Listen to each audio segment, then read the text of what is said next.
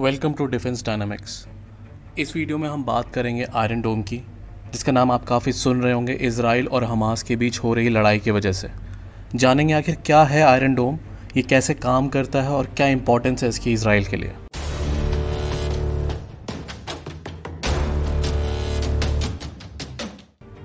Iron Dome एक all weather air defence system है, जिसे एक से दूसरी जगह मूव किया जा सकता है।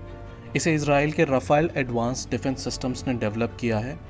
इसे 4 से 70 किलोमीटर दूर से फायर किए हुए शॉर्ट रेंज रॉकेट्स और आर्टिलरी शेल्स को इंटरसेप्ट और डिस्ट्रॉय करने के लिए डिज़ाइन किया गया है।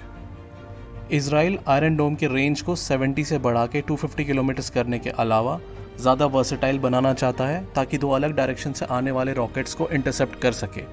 ये रॉकेट्स को इंटरसेप्ट करने के लिए तामीर मिसाइल का यूज़ करता है। इसकी इंटरसेप्टर मिसाइल तामीर का वेट 90 के लेंथ 3 मीटर और डायमीटर 160 सिक्सटी mm होता है। आयरन डोम के तीन मेन कंपोनेंट होते हैं।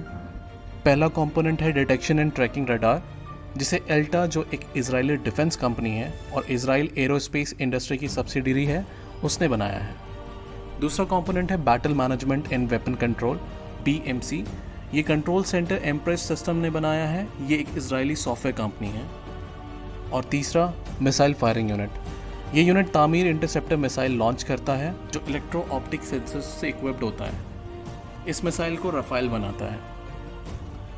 पहले आयरन डोम का रडार ये डिटेक्ट करता है कि रॉकेट लॉन्च कहाँ से हुआ है और उसकी ट्रैजेक्टरी क्या रहेगी।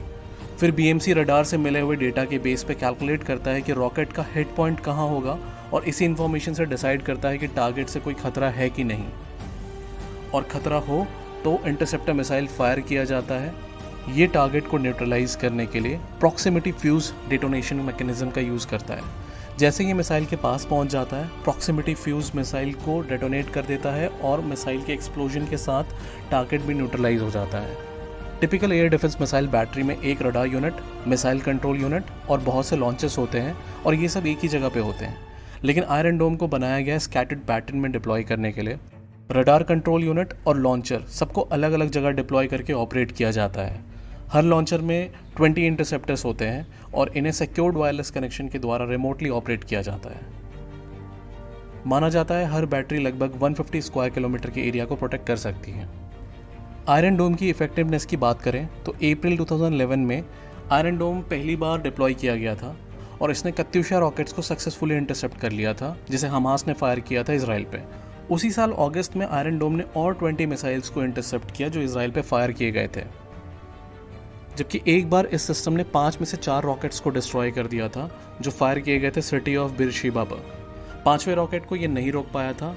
ऐसे अलग अलग मौक़ों पे आयरन डोम ने 80 से 95 परसेंट की एफिशिएंसी दिखाई है रॉकेट्स को इंटरसेप्ट करने में। आयरन डोम इसराइल के लिए बहुत ही इंपॉर्टेंट है, पैलेस्टाइन कॉन्फ्लिक्ट्स की वजह से। हमास अक्सर रॉकेट्स फायर करता है गाज़ा से इसराइल पे, और यही मेन रीज़न भी था आयरन डोम को डेवलप करने का।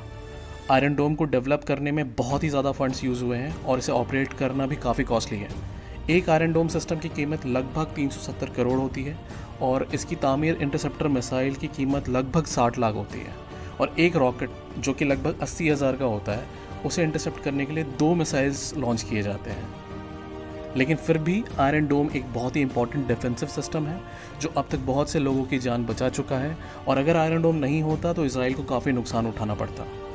आयरन डोम सही मायने में लाइफ सेवर है। अगर आपको ये वीडियो अच्छा लगा तो प्लीज़ वीडियो को लाइक करिए और ऐसे ही वीडियोज़ के लिए चैनल को सब्सक्राइब करिए। जय हिंद।